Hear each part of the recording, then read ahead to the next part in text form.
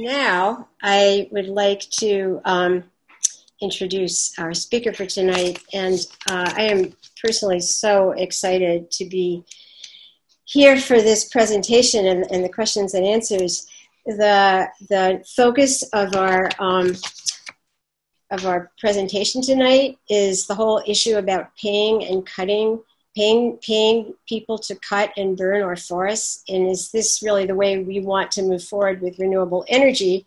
And our presenter is mary s. Booth phd and she is the founder and director of the partnership for policy integrity where she directs their science and advocacy work on greenhouse gases air pollution and forest impacts of biomass energy um, Dr. Booth is widely known, in, in, fact, around the world for her work, and we're just so honored and excited that she's here. And so now I would like to turn things over to Dr. Mary Booth. So uh, thanks everybody for coming. Thanks for your interest in this issue.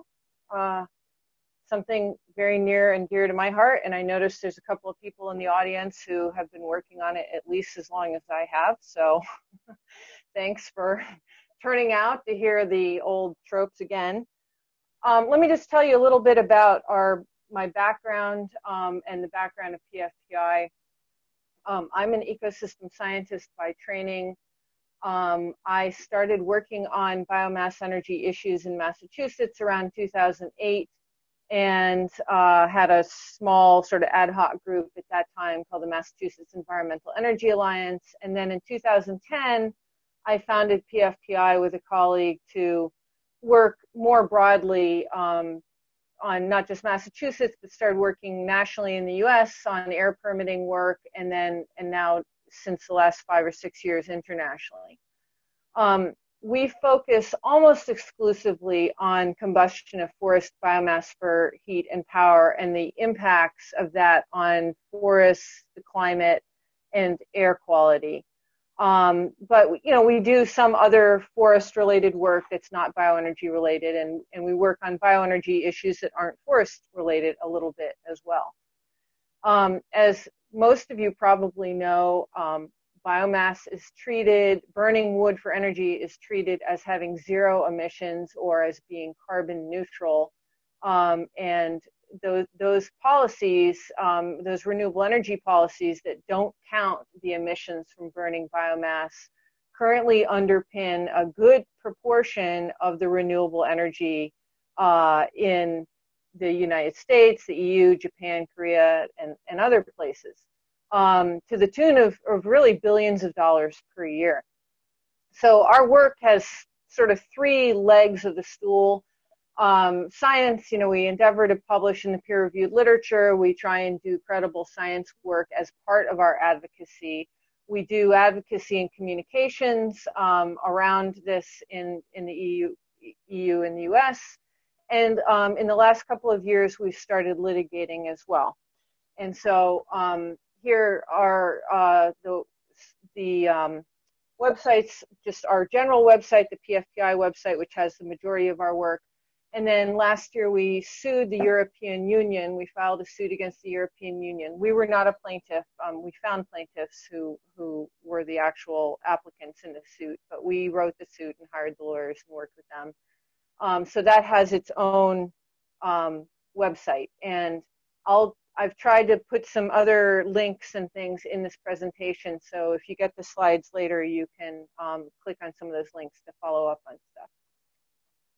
So for context of um, the importance of bioenergy as renewable energy, uh, we have this horrible hairy diagram, um, which is a bit old now, actually, uh, 2015, and it was a, a, series of modeling scenarios for achieving two degree, holding temperature rise to less than two degrees Celsius. And of course, what we really want is 1.5. Well, what we really want is nothing, but 1.5 is better than 2. And basically, uh, these are trajectories of emissions and against um, that's on the on the y-axis and then the x-axis is is the year and just showing that basically the cluster of blue modeling scenarios with the average blue line there are the livable scenarios. These are the scenarios where we very quickly uh, reduce emissions. And but not only that, critically, we not only reduce emissions, but we increase uptake of carbon dioxide that's already in the atmosphere and suck it out of the atmosphere. And you know, right now, um, forests are really our only way of doing that. So the Paris Agreement actually makes reference to this. Um, Article 4 of the Paris Agreement says that we need to achieve a balance between anthropogenic emissions by sources and removals by sinks. Uh, and you know there are different things being proposed, technological solutions for acting as a sink for carbon dioxide. But really, trees are pretty much it right now. And then Article 5 explicitly says that parties should take action to conserve and enhance sinks and reservoirs of greenhouse gases, including forests. And um, if you read the Paris Agreement, um, it actually doesn't have very much specific language in it. And this is one of the very few quite specific recommendations in the Paris Agreement. Unfortunately, um, the US land sink which is the uptake of carbon dioxide from the atmosphere by land, which is mostly dominated by forests, um, is minimal, and our emissions are huge. So in this graph, uh, the line that is below the year line there, the negative, the blue line, is the land use and land use change and forestry total, LULUCF, of which forests are the biggest part total emissions, that's greenhouse gas emissions without LULUCF is the red line. And then when you subtract out the CO2 that's being sucked out of the atmosphere by forest growth and, and other uses of land um, and also harvested wood products, uh, you get the purple dotted line. So right now the land sink is accounting for about 11% of our emissions. To achieve a balance of sources and sinks, as called for in the Paris Agreement, would require those two, uh, those two, uh, the sources and the sinks to be equal and opposite in magnitude, so that they basically canceled each other out. That's how we would get to net zero. As you can see, we have a ways to go.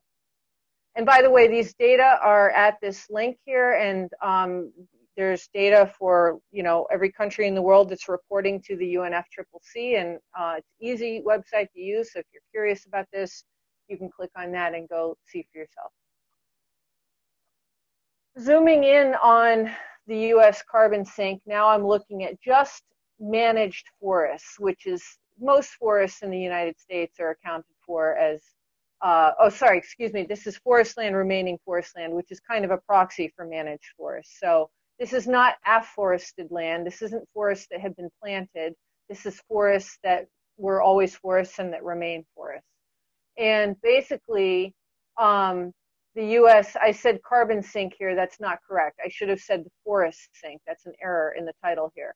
The U.S. forest sink has declined, become less negative by 6.6 percent since 1990. So we are losing our forest carbon sink. And there's lots of reasons for this. Of course, land use change is, is a big one.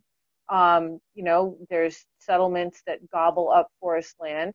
There's uh, climate change, which is a stressor on trees. They, they don't do as well in drought situations and changing temperatures.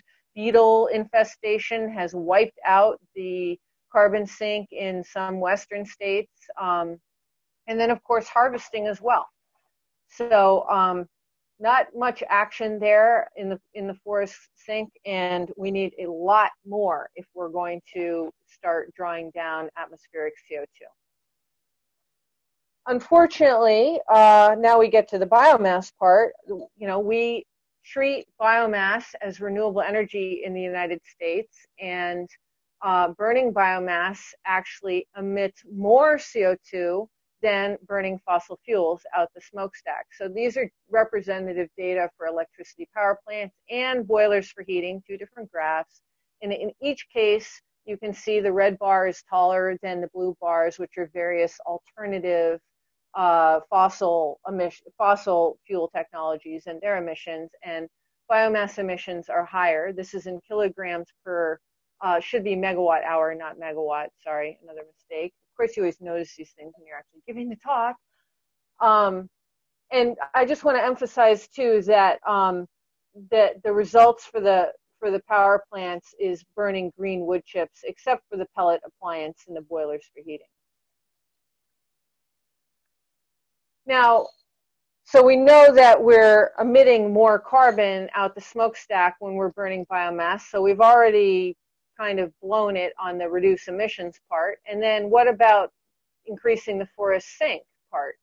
Well, um, harvesting biomass obviously degrades the forest sink, at least uh, temporarily. And when we say temporarily, we're talking about decades to more than a century. That forest harvesting, um, you know, can be extremely devastating. And this is a photograph from a forester in the New England area here. Well, he actually lives here in Massachusetts, uh, who is extremely proud of his work. He is constantly uh, boasting about his work to people, and um, I think a lot of other foresters do agree that he he does good work. But this is what a biomass harvest looks like in Massachusetts, or at least one version of it. Uh, basically, anything that wasn't left is getting chipped up and um, blown into a chip van, which you can see there in the distance. So the problem being, of course, that trees don't grow back very quickly. So um, this idea that biomass has zero emissions is somewhat predicated on the idea that uh, it's a renewable fuel and you're burning and emitting CO2, but that the trees will grow back eventually and reabsorb CO2, and so that makes it carbon neutral. But uh, basically, the problem is trees don't grow back quickly, burning is fast, and regrowth is slow. And so this concept was developed quite a while ago and then reused by uh, a study that was commissioned by the state of Massachusetts to characterize biomass, net biomass emissions over time. Basically, making the point that the cumulative emissions, that's the dotted line, of biomass um, increases steeply initially and then sort of flattens out as trees start growing back, but that this process takes, you know, decades. And meanwhile, if you're comparing that to uh, cumulative fossil fuels from a, a, plant, say you're talking about a biomass plant, a 50 megawatt plant, for instance, the cumulative fossil fuel emissions from a 50 megawatt plant would just continue, are assumed in this model, just to continue to increase as a steady line. And when those two uh, lines cross is the point of equal cumulative flux or parity between net biomass emissions and fossil fuel emissions. And that, that crossing point happens, uh, you know, decades into the future. And I'm going to show you some data on that. Um, now here's a, here's kind of a, a cartoon that compares not just to fossil fuels, but more properly to other renewable energy, wind or solar, for instance where you have a power plant that is emitting CO2 or not, in the case of wind or solar, and uh, that the forest is through time is growing and accumulating and s- storing carbon, and that you get the biggest concentration of CO2, which is the pinkest, the most pink uh, panel there at the bottom, with the biopower scenario where you've got the electricity power plant belching out more CO2 per megawatt hour than uh, fossil fuel plants, and you keep cutting the trees, so you can't grow the sink. And the, the result is that the concentration of CO2 in the atmosphere is increasing. So I mentioned the study uh, that was commissioned by the state of Massachusetts. It was called the Manomet study, and this is a table from that, just highlighting the electric scenarios that that time to parity that I mentioned uh, with a coal plant, so bi- burning biomass in a in a power plant versus burning coal, that it would take between 45 and 75 years if you're including whole trees that otherwise would have continued growing and sucking carbon out of the atmosphere um, to to reach that parity and that it is more than 90 years if it's a gas plant. Now, the scenarios for logging residues where the counterfactual is that the logging residues would be de- decomposing and emitting carbon anyway, those have shorter uh, parity times. But basically, uh, this is a fairly, you know, it's not a scenario that gets used an awful lot because these big plants that are burning biomass, like a 50 megawatt plant, is not going to be using just logging residues. They're going to be using trees which may be designated as waste wood or you know called residues, but in fact, um, if they were not logged be used as fuel, they would continue growing and taking carbon out of the atmosphere, and that's what kind of bumps you up into this scenario where um, emissions continue to increase over time. This is the same thing, but just highlighting now in orange the thermal scenarios and uh, just showing that uh, the time to parity for oil and gas, um, even the gas is 60 to 90 years. These are for heating scenarios. And the reason these numbers are lower than the electric scenarios is that there's um, closer, there's less of a difference in efficiency between um, the biomass scenario and the fossil scenario. I won't get into a lot of detail about that, but if you have questions, you can you can ask me about it after. Now, I want to say a couple of words about this concept of sustainable harvesting because this is being bandied around a lot. People say, yeah, you know, biomass, as long as it's sustainable, is carbon neutral meaning that um, basically the concept is that you're harvesting less wood than you're growing. So the forest as a whole, whether that be your forest plot out back of your house or the forest, all the forest in the county or in the state or even in the United States, that there is more wood being added each year than is being cut. That's the most basic definition of sustainability. And um, the biomass proponents want to say that this is the same thing as carbon neutrality because um, you're still growing more and sequestering more carbon than is being released by cutting and burning the wood. I'll say a little bit more about that in a minute, but I want to show you some examples. Uh, by the way, this slide was taken from Drax, which is this huge uh, wood burning power plant that imports pellets from the United States and Canada it's in the UK and it's a, a four gigawatt plant. It's a 4,000 megawatt coal plant that was converted to burn uh, mostly wood pellets. And there were a couple of uh, news stories, in fact, today, even in the BBC, saying that uh, the UK has operated for two months without burning any coal. And they sort of failed to mention that what they did was replace a bunch of the coal with wood. And so I've been on Twitter uh, today trying to like beat back Drax uh, from boasting about this story that they managed to get their talking points embedded with the senior environmental reporter from the BBC. So we obviously still have a lot of educating to do. Meanwhile, let me show you some pictures of quote unquote sustainable harvesting. This is actually certified land in Nova Scotia, certified sustainable by the Sustainable Forestry Initiative, SFI. Um, that's you know, they wouldn't call that a clear cut because there's still some trees left. Um, and basically, this can be certified as sustainable because, hey, there's still trees growing over there, right? And if you look at a big enough area, you can show that there's still more growth happening than was being cut. Another example from Estonia, same thing, sustainable harvesting. Estonia happens to be one of the biggest wood pellet producers in uh, the European Union and has seen a, dr- a, drastic decline in its forest carbon sink, in part because of that. Here's, here's more from Estonia taken by a colleague of mine. Uh, not only are they clear cutting, but then they go through and they grub up all the stumps and tear up the roots and stuff. So, uh, and these are, you know, being Estonia, it's like one giant wetland. These are very peaty soils, very carbon rich soils.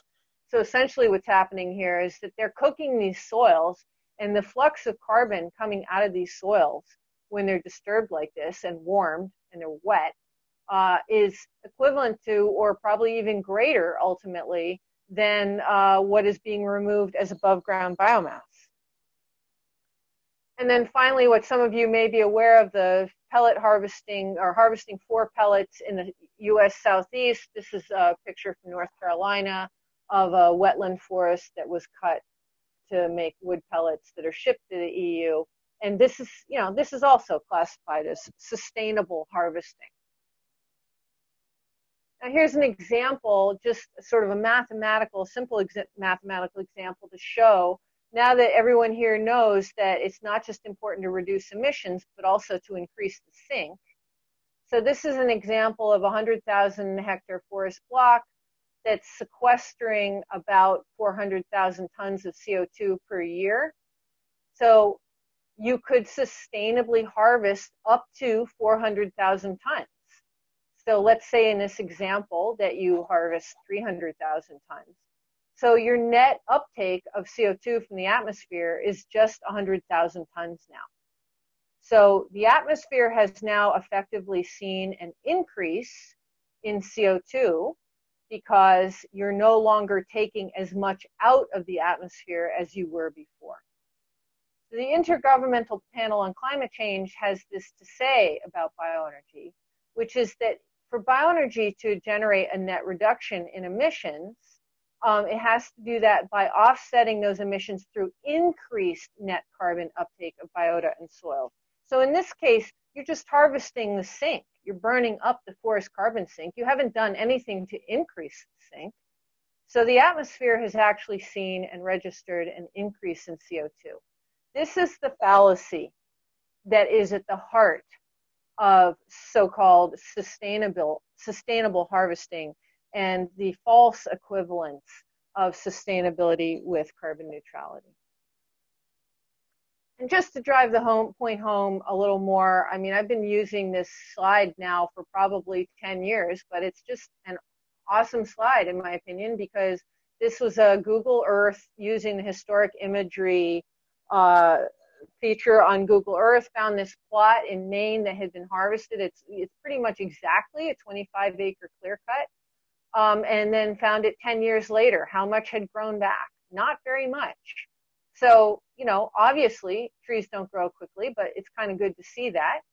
Um, and meanwhile, just FYI, this is uh, produced probably um, based on average standing biomass of Maine forests, about 950 dry tons of biomass, which would be, would be enough to power uh, a 50 megawatt plant for about 21 hours. So that's where our forests go when they go up a smokestack. That's a high rate of consumption. So it's important to note that I, as I already pointed out, but just to reiterate again, the Intergovernmental Panel on Climate Change does not treat bioenergy as carbon neutral. They do count harvesting emissions in the land use change basket and not the energy basket. So under IPCC reporting, Bioenergy is reported in the energy sector as zero emissions, and it's counted in the land sector.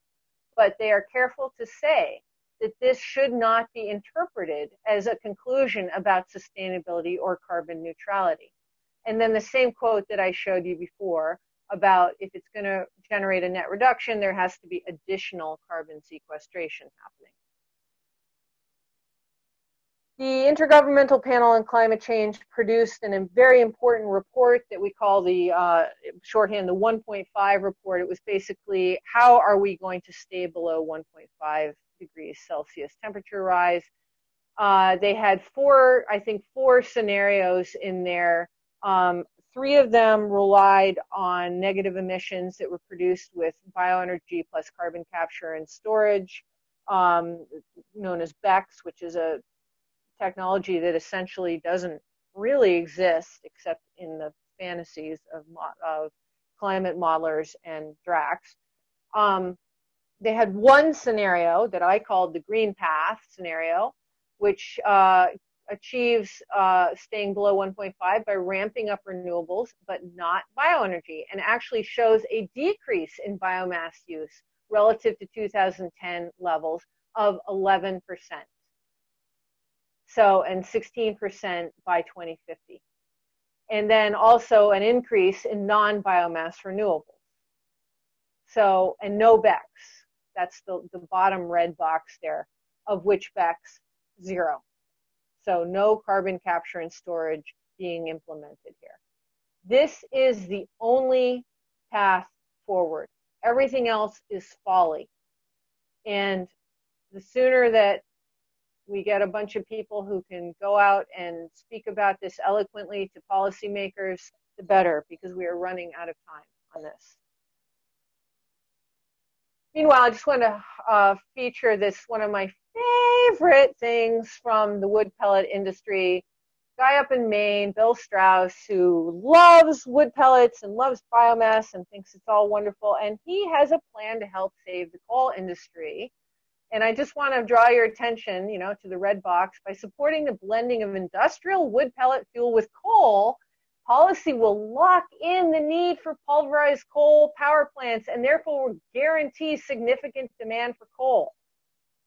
What could we want more than that? Uh, this is a real thing, and this is actually happening in Europe.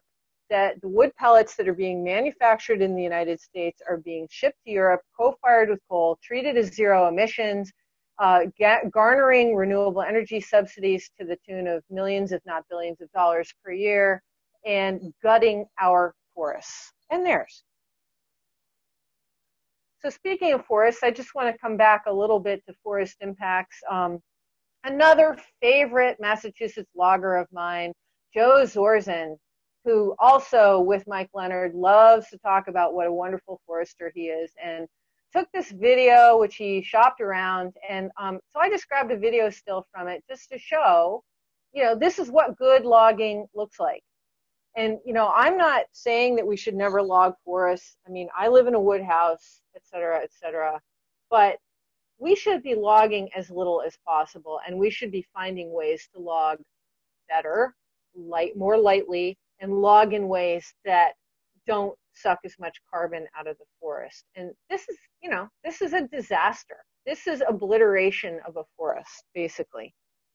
And this picture was taken out in back of my house. This area was logged probably 30 plus years ago. Um, it's still a dead zone.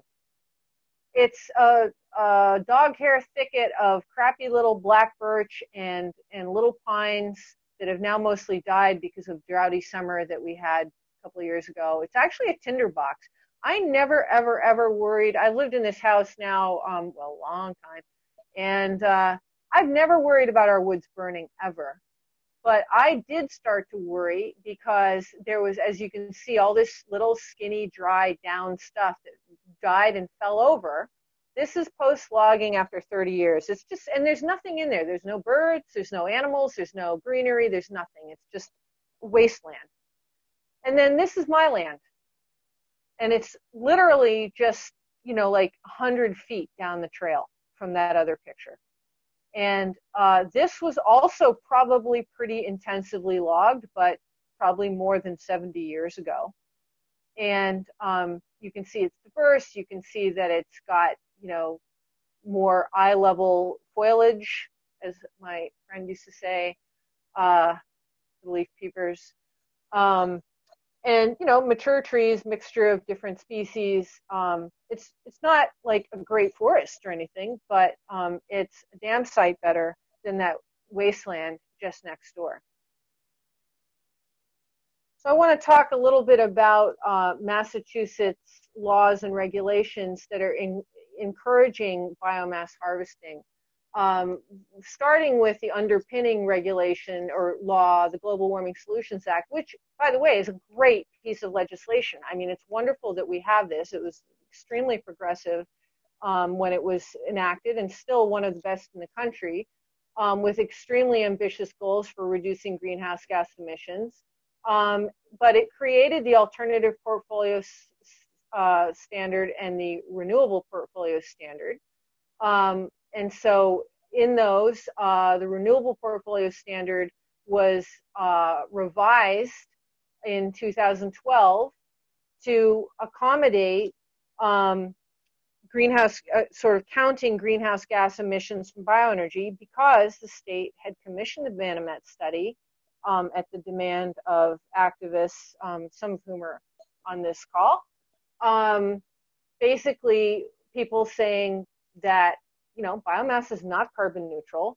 Cutting wood and burning it and calling it zero emissions is not going to help us reach those targets.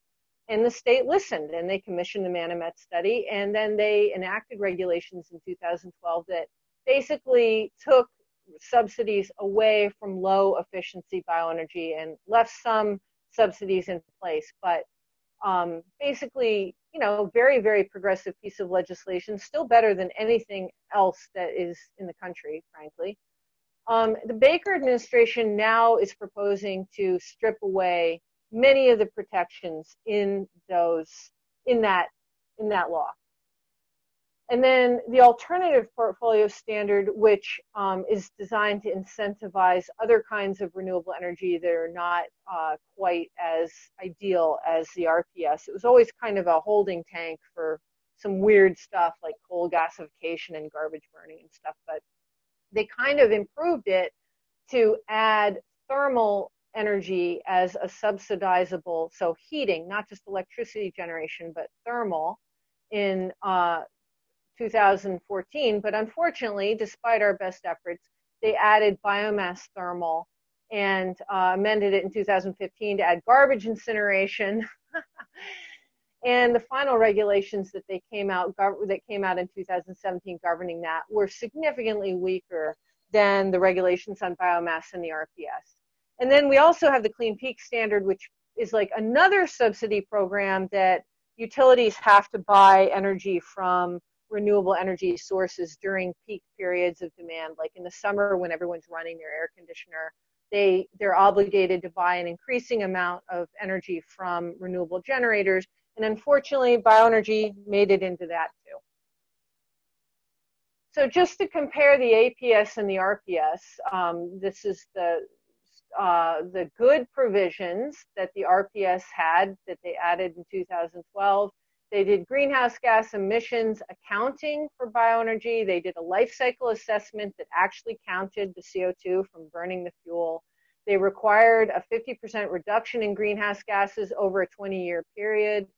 They required facilities to be at least 50% efficient, which a, a regular electricity power plant cannot attain. So you have to um, have combined heat and power, which is a more efficient way to use any fuel, not just wood, um, and also enacted forest protections. So some provisions on soil fertility, protecting old growth forests, steep slopes. Um, they required harvest harvest plans and fuel sourcing plans for biomass plants that were planning on getting credits under the RPS.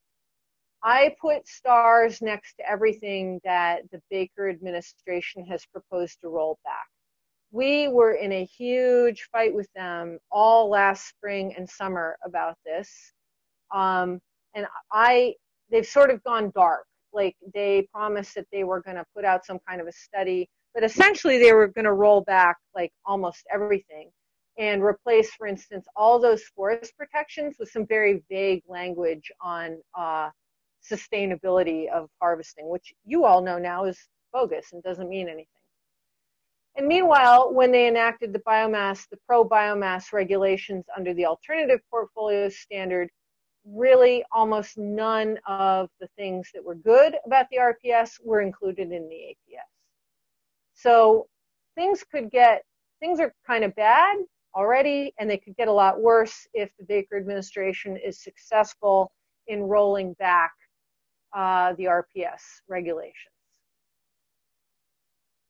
one of the plants that was proposed in Massachusetts, there were three or at sometimes it even seen four big power plants that were pro- proposed back in 2008 that basically went away, like folded their tents um, when the 2012 uh, regulations were enacted because they, they knew they weren't going to be able to meet the criteria, all except for the Palmer plant, confusingly called the Palmer plant because it's actually located in Springfield, Massachusetts, which is the literally called the asthma capital of the country. Two years in a row, uh, a, a group that rates air quality rated Springfield, Mass as the asthma capital of the country. and they're going to build a wood burning power plant, and they say that they're still going to build it. And I dropped some uh, REC prices in the upper left hand corner there at Massachusetts Renewable Energy Credit prices of per megawatt hour. What would a 42 megawatt plant like uh, the Palmer plant be able to generate? So up to you know 16, 17 million a year just in renewable energy credits. So you can see why they want to build this thing. But meanwhile, uh, last year we discovered we we kind of thought this thing was not really going to get built because we never really saw how they were going to meet the efficiency requirement.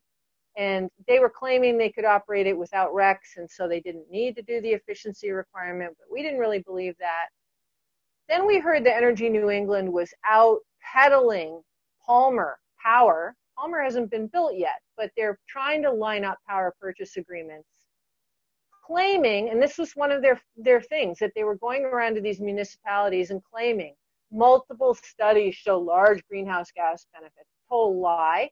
Meets mass clean energy standards. Well, I don't know what they think that means, but we figured out that basically the administration, the Baker administration, had kind of given them a little tip off, like a little thumbs up that, hey, don't worry, we're rolling back the regulations. You guys are going to be in like Flint. And uh, so we weren't going to stand for that. And we worked with Arise for Social Justice in Springfield to send a letter, which is linked there. That's what that, that hyperlink is up at the top. And uh, we got a lot of people pretty upset, um, but managed to get a couple of municipalities to say no to this power purchase agreement. Um, I genuinely don't know what the status of this is now, and, and that's something that we need to spin back up on this spring. Well, spring is almost over.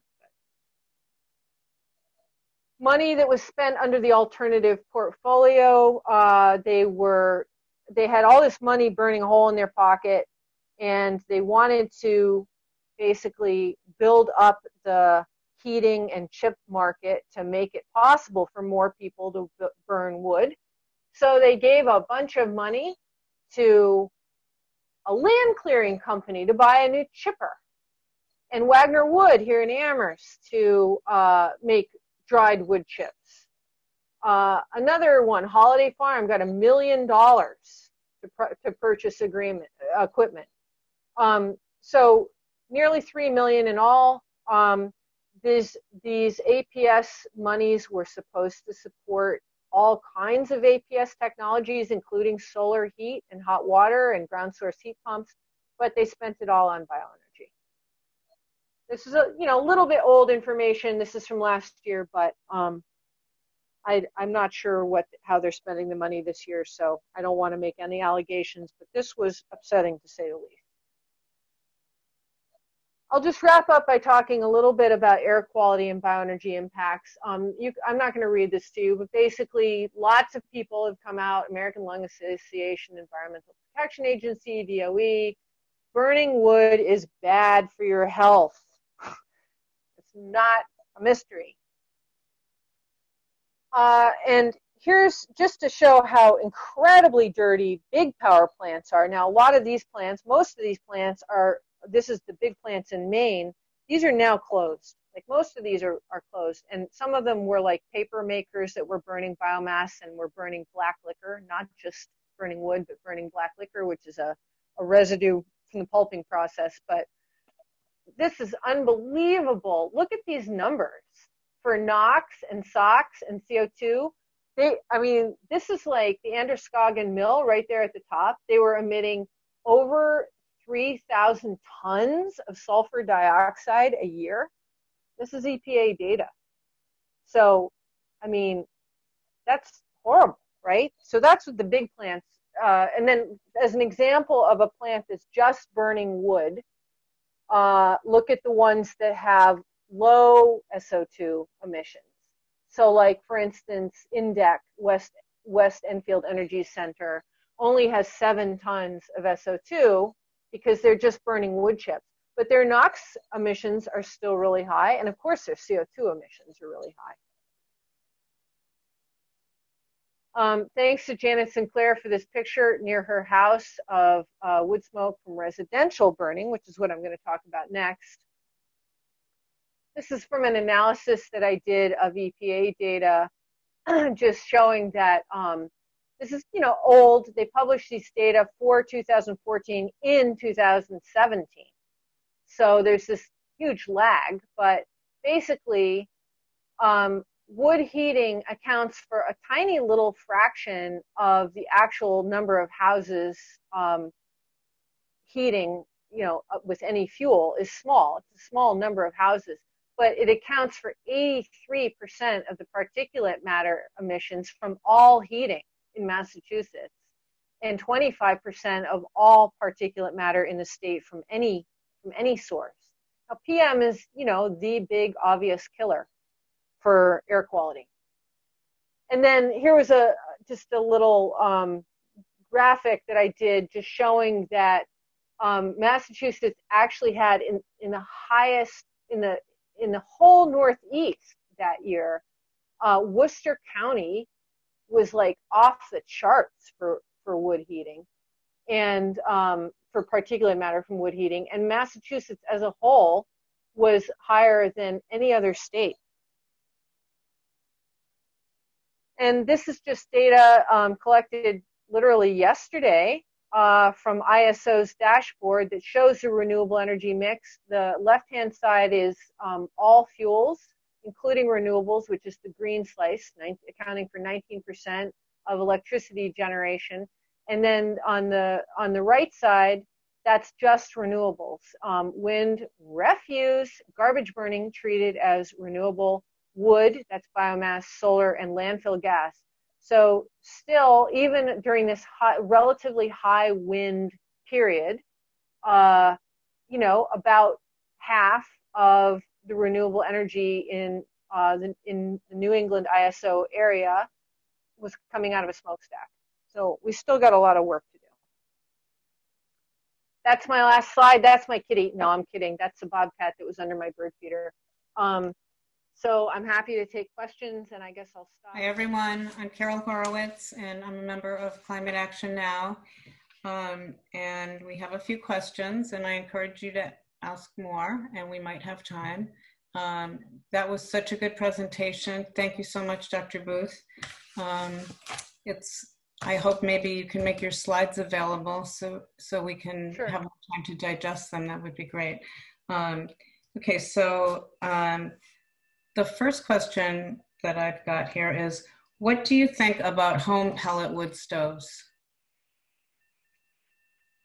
Uh, I wish that was, there's so much I could say. Um, I don't recommend anyone get a wood stove of any kind, frankly, uh, both the air quality and the carbon uh, impacts of it. So uh, I think you know, a lot of people burn wood for heat, and a lot of people have to burn wood for heat, unfortunately. Um, but if you have a choice about, you know, what technology to use, um, there's so much better stuff out there, and you'll you'll be so grateful uh, to not have to deal with the dirt and the filth and the smoke of dealing with burning wood, and particularly uh, if there's kids in the house.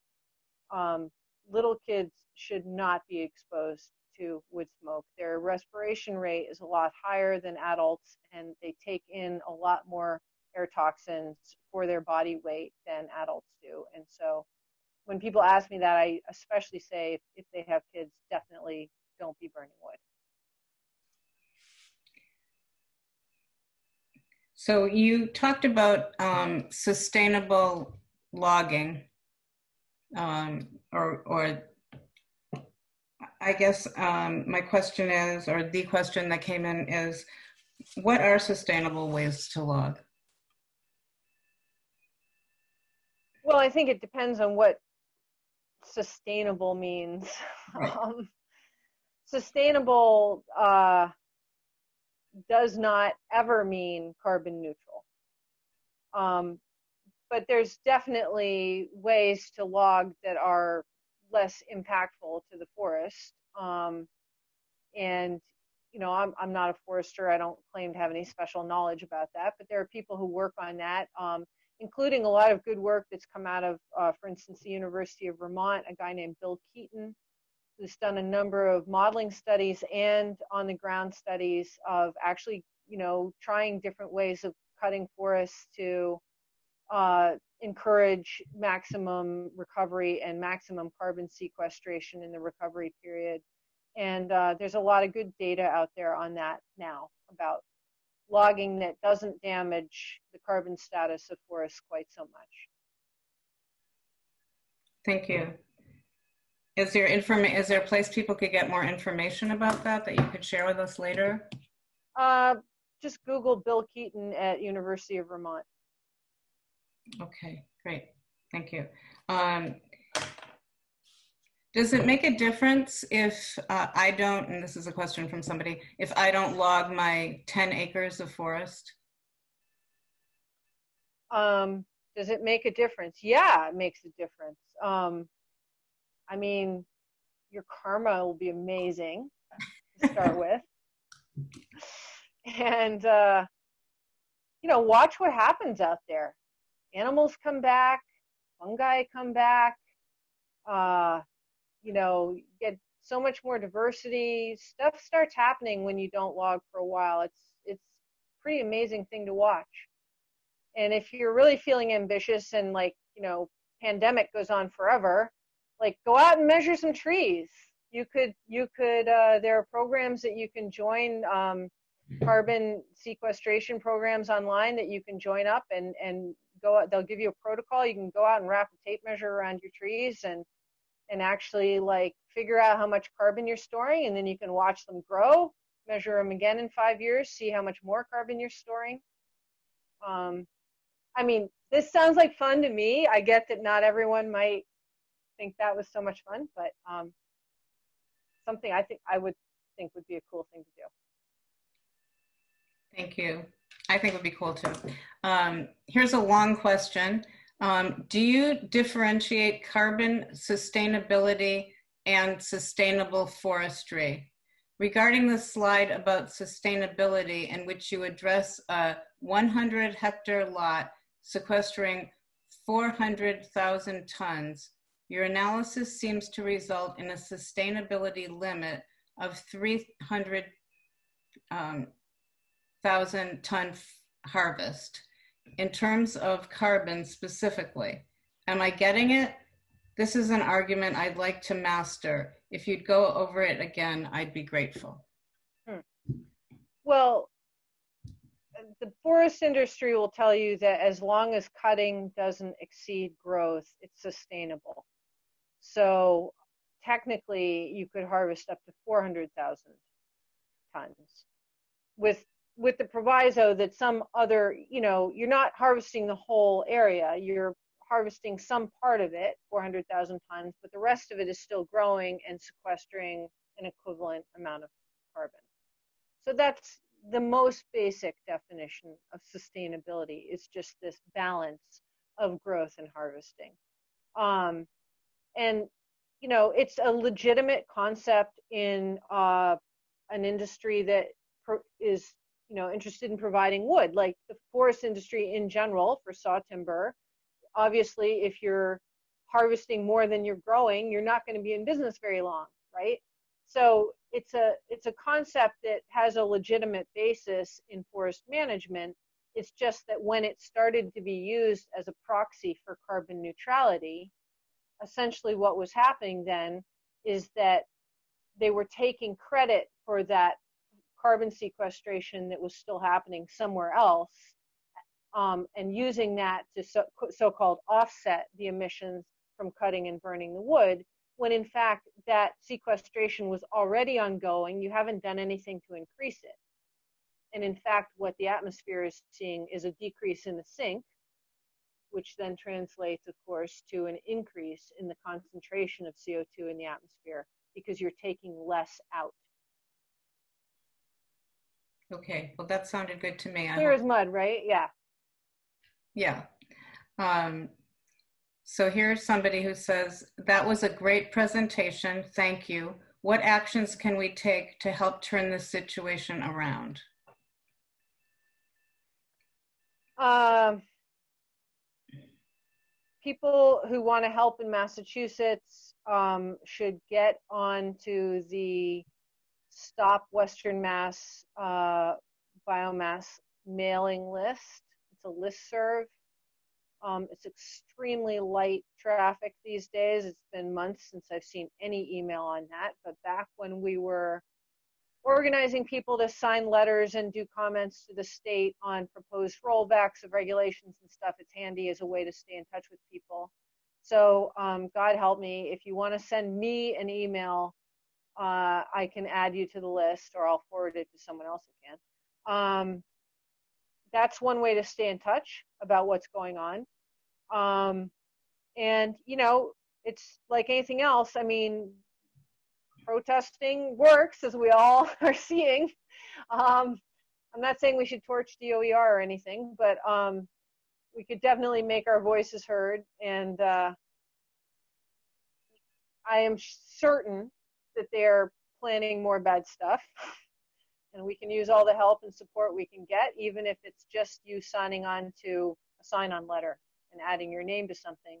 Obviously, it's ideal if people are willing to write their own letters and contact their legislators and stuff.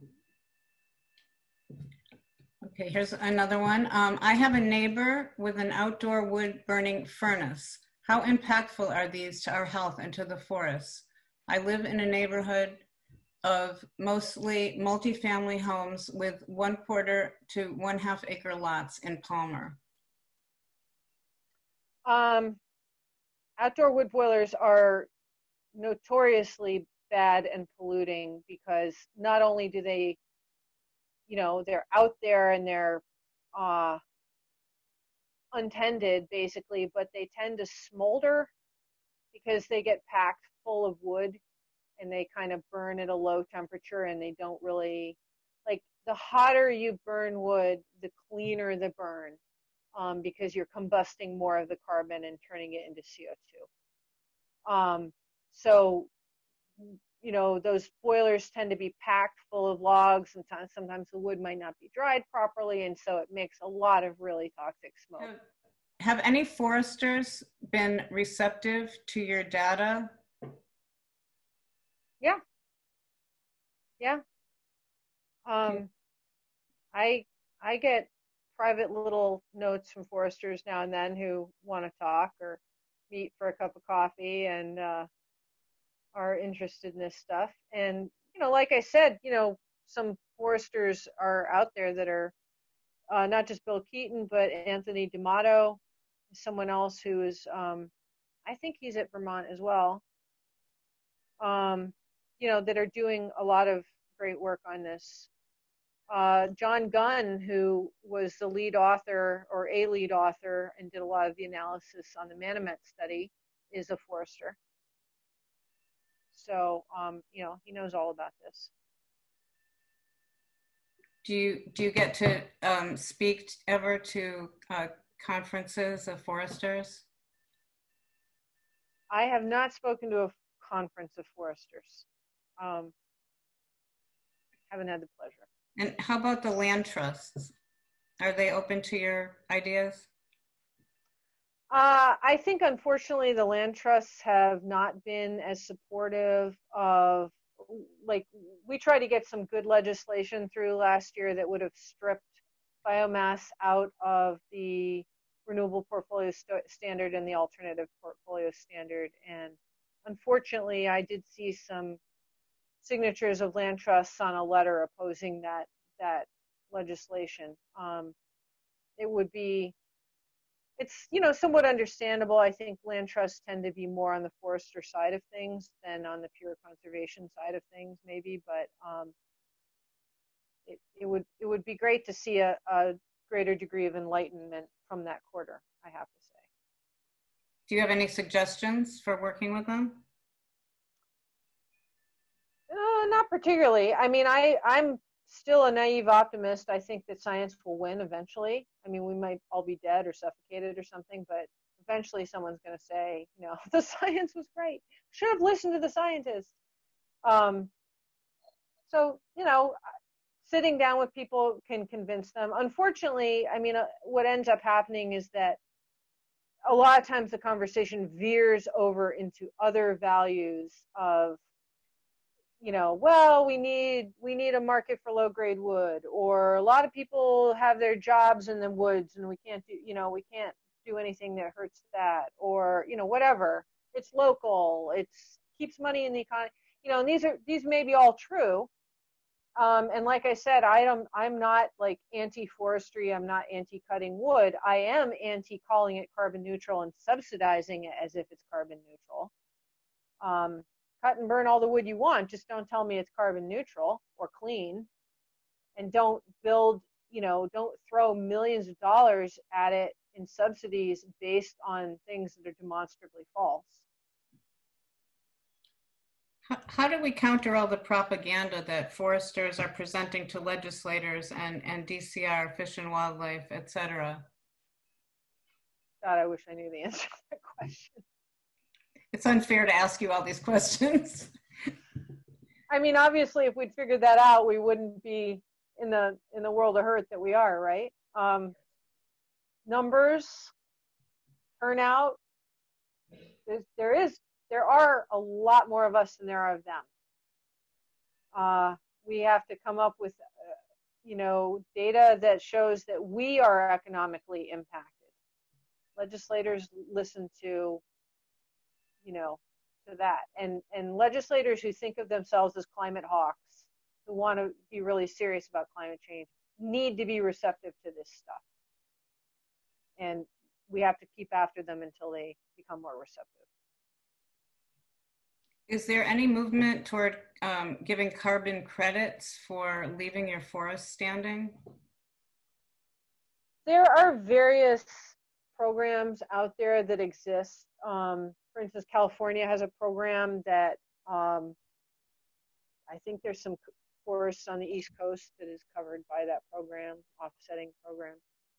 Um, unfortunately, I mean, it's a very tricky question because the way to monetize forest carbon on the hook, like keeping it in the forest, is very often through offsetting programs, which is, uh, you know, a program that pays a landowner to not cut when they would have otherwise cut, and therefore they get a credit. And that's paid for in many cases by polluting industries that want to keep polluting.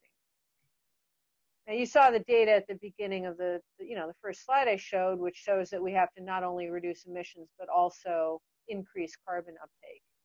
And offsetting doesn't accomplish that goal. Offsetting lets the polluters keep polluting. And it puts even more weight on our forest resources, which are staggering under the weight that they already have to carry anyway, as being responsible for somehow offsetting fossil emissions. And you know, one thing about about forest carbon or land carbon is that it's not really fungible with fossil carbon because essentially it's not permanent. Fossil carbon, you pump it into the atmosphere and it's essentially there to stay until it's taken up by oceans or, or the land sink.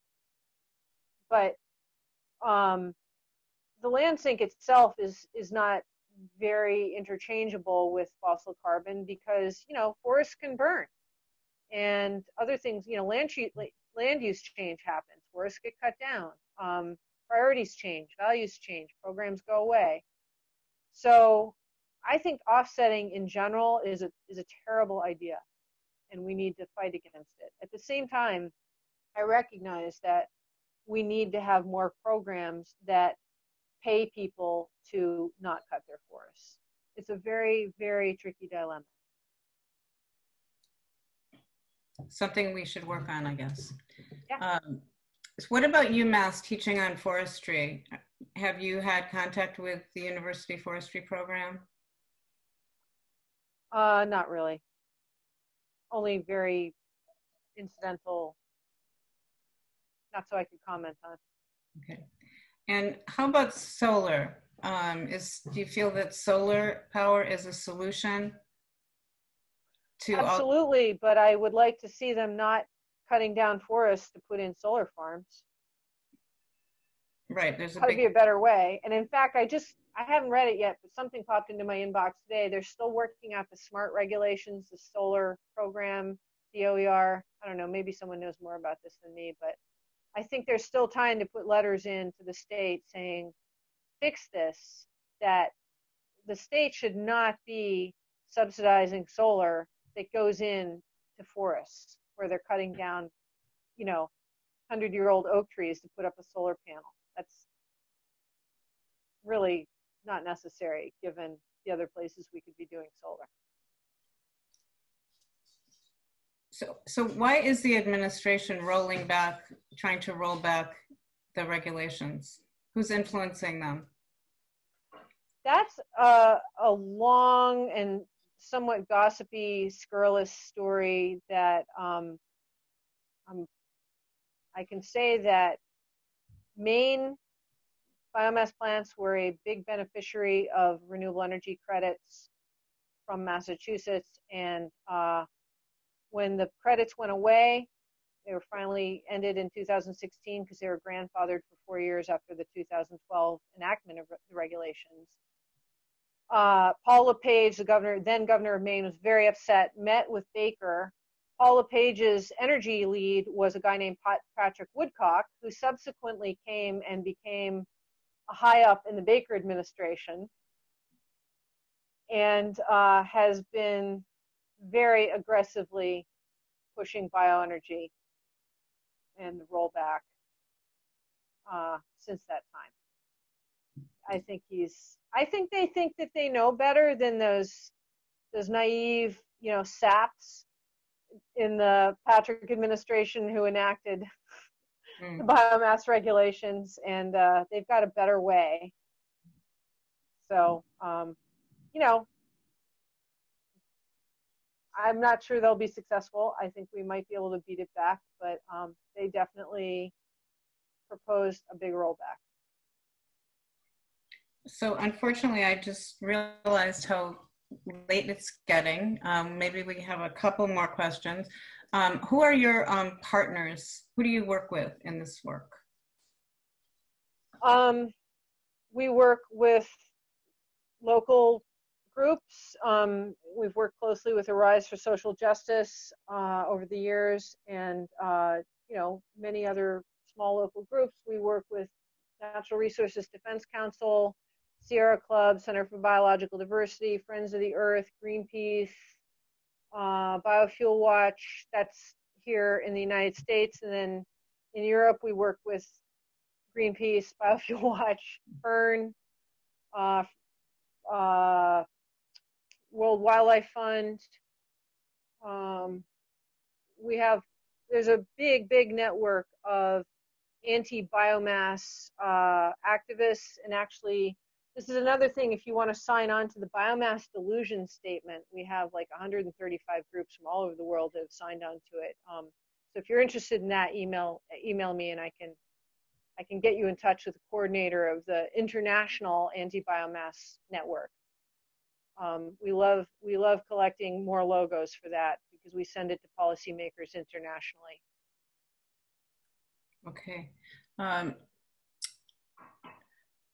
we um, hear about all these efforts to plant billions of trees all over the world. What do you think about that effort? I know you've talked about it before a little bit, how yeah. long it takes for trees to grow. Do you think it's um, at all? Tree planting there's huge issues of land use, human rights, appropriation of lands um, in developing countries for these kinds of projects that have been disastrous for third world communities.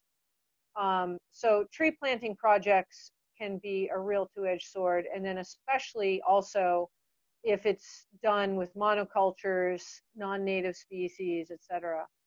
Um, so actually, um, if Eco, uh, what is it? Ecosia is the search engine that plants trees. Like it's a substitute for Google. They have a little film about tree planting done right, which I really recommend. You'll, you'll learn a lot. It's a short little film. How do you spell um, that? It's Ecosia. I, I'll, I can, if you have a mailing list, I can email you this and you can send it out. Um, okay. It's like a search engine that you can replace Google search with um, and it plants trees when you search the web. But they also have educational materials, and one of them is this great little film. Um, but you know, a, a, really important paper about uh, natural climate solutions that came out a couple of years ago pointed out that one of the biggest ways to increase carbon stored in forests is to just infill existing forests. So that doesn't take more land. It's exi- the forest already is in the forest footprint, but forests have been hollowed out by harvesting and, and all kinds of other damage. And so restoring forests that already exist is actually the single biggest, letting forests get older is the single biggest thing that we can really do uh, to quickly, you know, start storing more forest carbon. Mary, thank you so much. That was just great, and we could go on for hours. Um, so we so appreciate everybody who's who's come tonight as well.